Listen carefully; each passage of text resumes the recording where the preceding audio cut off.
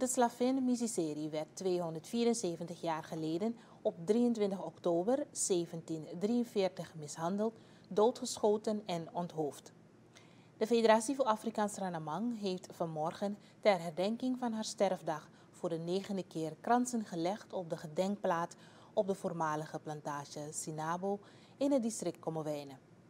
Misiseri weigerde mee te werken aan een leugen van de plantagedirecteur ten aanzien van de dood op zo'n minst 28 mensen op de plantage. Hiervoor werd zij met de dood gestraft. Volgens Ivan Wijngaarde, voorzitter van de federatie, wordt deze dag uit respect voor het verleden herdacht. Volgens hem moeten vooral de goede eigenschappen van vrouwen uit de geschiedenis belicht worden, want weinig tot geen vrouwen met een positieve en goede naam zijn op de voorgrond geplaatst.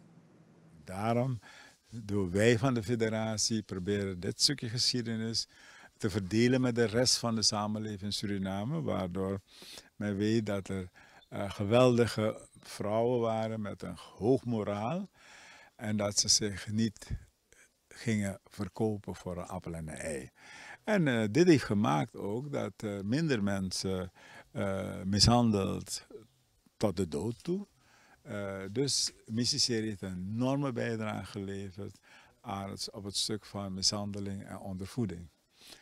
En, uh, en, dat doen we jaarlijks. We zijn begonnen uh, ongeveer negen jaar geleden. Dat is 2008.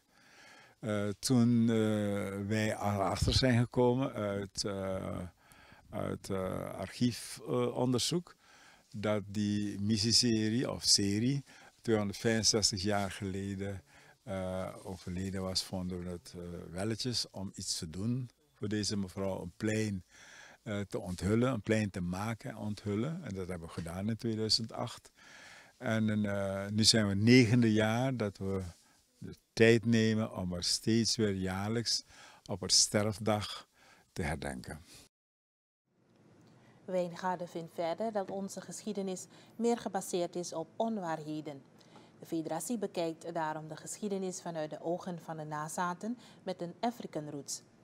Wat men van het verleden weet is vaak alleen het negatieve en wij van de federatie proberen ook de goede dingen aan het licht te brengen, zegt Wijngaarden.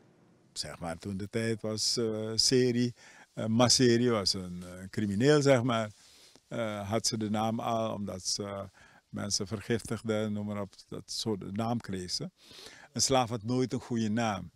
En wij proberen het eruit te halen karakter proberen uit te halen. Het karakter moet hoog zijn. En, en, en, en het gevolg van haar doen en laten, wat het betekent voor, uh, zeg maar, die mens van toen de tijd. Maar ook wat leert het ons vandaag de dag.